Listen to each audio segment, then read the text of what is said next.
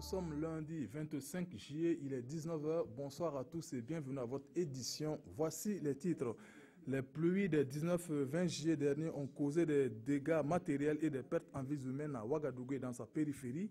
Plus de 200 ménages de la commune rurale de Komsilga qui font partie des sinistrés viennent de recevoir de l'aide composée de vivres, de couvertures ainsi que de nattes. Et puis, les meilleurs élèves du primaire et du post-primaire de la région de l'Est ont été distingués dans le cadre de la 12e édition de l'excellence dans cette région. Ce sont une vingtaine d'élèves et une dizaine d'enseignants qui ont ainsi vu leur mérite récompensé. Les pluies diluviennes des 19 et 20 juillet dernier ont fait de nombreux dégâts matériels et malheureusement aussi des victimes à Ouagadougou ainsi que dans les localités environnantes. C'est le cas de la commune rurale de Komsilga où 257 ménages ont été touchés. Ils ont reçu 12 tonnes de riz et des nattes ainsi que des couvertures de la part d'une bonne volonté, une initiative privée qui fera sans doute tâche d'huile. Yakuba Gamene, Nathalie Savadogo. Abdul Ouedrogo vole au secours des sinistrés de Tengandogo, Sanré et Pouessin dans la commune rurale de Komsilga. Et la main tendue du généreux donateur vaut 12 tonnes de riz, 500 nattes, 500 couvertures, 500 lampes et des bidons d'huile. Moi, c'est bien peine nous aider plus parce que les gens qui dorment dans les écoles là, ne veulent pas avoir à manger. Parce qu'on va prendre ça divisé dans les quatre côtés. Parce qu'à Tienganro ici, on a déposé presque 8 tonnes et quelques. Outre cet appui matériel, l'opérateur économique va encore plus loin avec une remise d'une enveloppe de 500 000 francs CFA à chacun des trois groupes de sinistrés. Un geste de solidarité pour remonter le moral de ces populations qui ont presque tout perdu après le passage des pluies diluviennes de ces derniers jours. On a vu euh, la pluie de la dernière fois, même si ça ne m'a pas trouvé au Burkina, ça m'a trouvé hors du pays. Et quand je suis rentré, euh, j'ai vu ça dans les images de la télévision. J'ai même euh, effectué un déplacement pour aller dans quelques écoles pour regarder. Ils disent qu'ils ont plus de 300 400, dans 500 personnes qui dorment dans les écoles. Euh, on a initié ensemble de voir si on peut apporter les premières nécessités. Les premières nécessités, c'est le repas. on a envoyé le riz là, puis quelques couvertures et puis des nattes. Effectuer un déplacement, venir voir les sinistrés eux-mêmes et puis les encourager. Il dit vraiment qu'on est de cœur avec eux, parce que c'est nos parents, c'est nos tantes, c'est nos mamans, c'est nos papas, nos enfants, nos petits frères sont là. Au cours de sa visite, le natif de Komsilga a invité les populations à quitter les nids du barrage.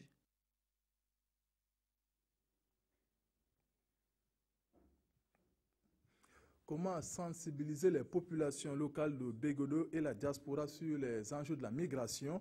La réponse certainement à travers ce projet d'appui à la gestion durable des terres et à l'amélioration des moyens d'existence dans cette localité. Aussi, des ressources seront mobilisées auprès de la diaspora pour financer des activités génératrices de revenus et l'accès à l'eau potable. Suleiman Sanou Mounira Kéré.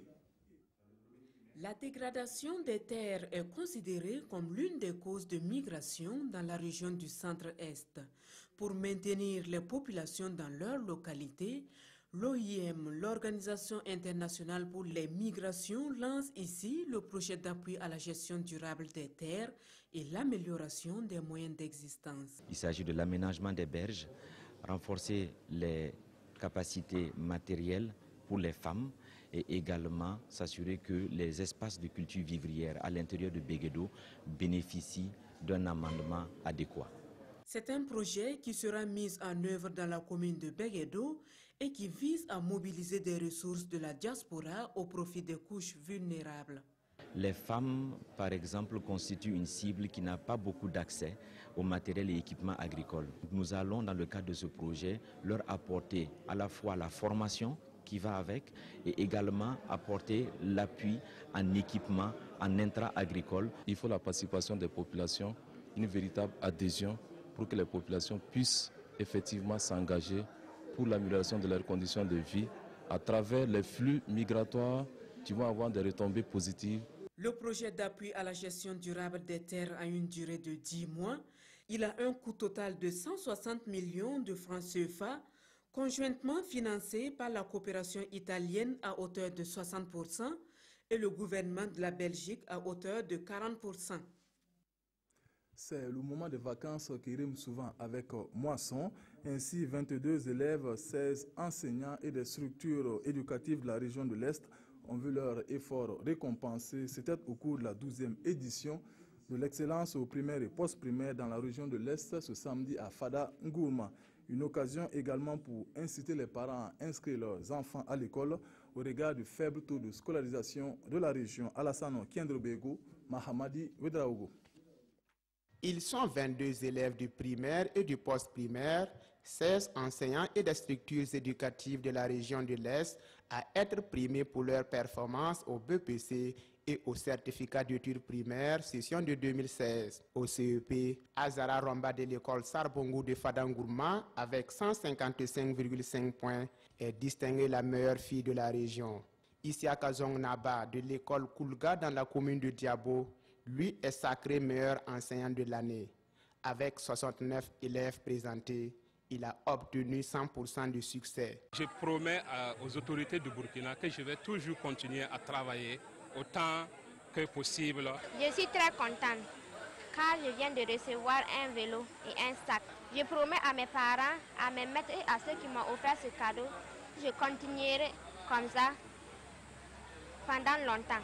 La région de l'Est a enregistré cette année un taux de réussite de 59,05% au CEP. Ce taux est inférieur à celui de l'année dernière qui était de 72,4%.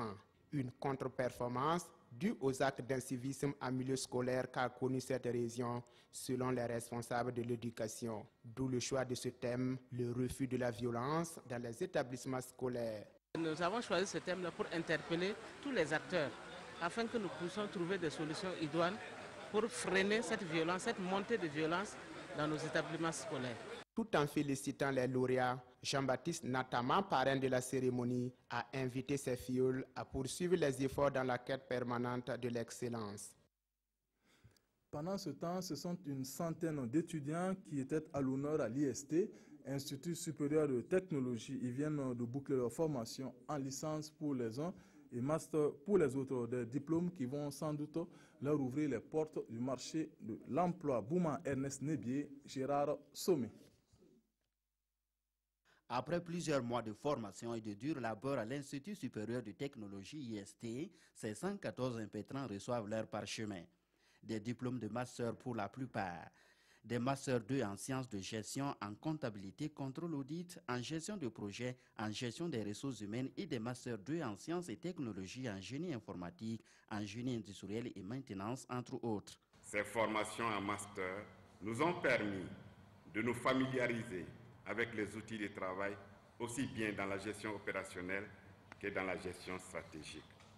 Les étudiants ne devraient pas avoir beaucoup de difficultés donc, à trouver de l'emploi. Nous sommes très très confiants par rapport donc, à, l'utilisation de ce diplôme sur le marché et surtout à l'apport des compétences que ces diplômés vont pouvoir apporter à notre économie, parce que c'est ça qui est important, et aux entreprises dans lesquelles euh, ces impétrants vont pouvoir servir. La promotion a pris pour nom de baptême la Renaissance et elle est parrainée par Madame le ministre du Développement de l'économie numérique Aminata Congo, une ancienne de l'IST. À travers son représentant, la marraine a donné des conseils à ses filles. La vie n'est pas si facile. C'est vraiment à travers un peu la persévérance qu'on peut arriver à la réussite finale. Cette cérémonie de remise de diplôme marque ainsi la fin de la première édition de la quinzaine de l'innovation, une initiative annuelle de l'IST pour valoriser les résultats de recherche et de créativité de ses étudiants. Un camion transportant des produits alcoolisés a pris feu après s'être renversé entre Moctedo et Zorgo ce 23 juillet. Heureusement, aucune perte en vie humaine n'a été enregistrée parmi les quatre occupants à bord. Le feu a mis plusieurs heures avant d'être maîtrisé. César Carrefour, Ismaël Diloma Sirima. Couché sur le côté, avec son contenu renversé et en proie aux flammes, ce camion qui transportait des liqueurs a quitté Ouagadougou et se dirigeait dans la Tapoua. Sa course s'arrête entre Moctedo et Zorgo. Et les quatre occupants du véhicule ont eu la chance de s'en sortir indemnes. C'est la croisée un gros camion qui était chargé. Voilà. Donc euh, après le croisement, sûrement le véhicule est un peu descendu. Et l'apprenti qui était à côté donc, a saisi le volant. Donc vous voyez deux forces, le, le chauffeur la main sur le volant, l'apprenti aussi a la main sur le volant. Donc ça a déséquilibré donc le véhicule ils sont tombés. Selon le chauffeur, toujours, le feu a commencé par la cabine. Comme ça a traîné, comme le, le camion est tombé, donc il y a eu traînage, donc, donc euh, ces étincelles donc, ont fait que ça a pris feu. Nous assistons donc euh, impuissamment, vous voyez le feu qui est en train de tout brûler. Compte tenu que ce sont des bouteilles, on ne peut pas s'approcher. Si on s'approche, vous voyez que ça s'explose, ça peut vraiment causer des dégâts humains. Survenu aux environs de 15 heures, les usagers disent avoir joint les pompiers. Mais jusqu'à 19 heures, où nous quittions les lieux, les flammes continuaient de dévorer le camion et son contenu, aux grandes dames du bitume et de la fluidité de la circulation. La West African Entrepreneurship and Innovation Foundation veut développer l'entrepreneuriat au Burkina Faso et dans la sous-région. Elle vient de présenter sa politique ainsi que ses outils opérationnels pour y parvenir. L'initiative vient de deux jeunes burkinabés après leur participation aux différents sommets mondiaux de l'entrepreneuriat Mokhtar Widraogo, Samira Toussana, Bouma, Ernest Nebier. West African Entrepreneurship and Innovation Foundation YF, une nouvelle dynamique pour booster l'entrepreneuriat au Burkina. Cette jeune structure qui vient de s'installer à Ouagadougou est créée par deux jeunes entrepreneurs, Boukari Oudrago et Isidore Sinkondo. Elle a pour mission principale de mobiliser des financements au profit des jeunes entreprises. Les deux sommets, euh, à savoir le sommet de Marrakech et, le sommet de Nairobi, qui ont été organisés par euh, l'État américain, où réellement nous avons rencontré des sommités, nous avons rencontré des entrepreneurs, nous avons rencontré des investisseurs et cela vraiment nous a motivés. Cela nous a donné le tonus à notre retour, vraiment de voir dans quelle mesure nous pouvons faire profiter la jeunesse burkinabé, la jeunesse de West Afrique. Source de financement de l'entrepreneuriat innovant jeune, c'est sous ce thème qu'est placée cette cérémonie consacrée au lancement officiel des activités de la Fondation. Nous allons mobiliser des ressources avec nos partenaires et déjà, il y a eu des, ébauches de conventions qui ont été signées avec des partenaires extérieurs dans le cadre vraiment de pouvoir, de façon opérationnelle, accompagner les jeunes innovateurs. La WEF vise aussi à contribuer à la diversification de l'offre des financements et par conséquent au renforcement du tissu de l'économie au Burkina et dans la sous-région. C'est tout pour ce soir. L'info continue avec Abouakar Sagnon à 20h. Je vous retrouve demain à la même heure. Bonne suite de programme. Bonsoir.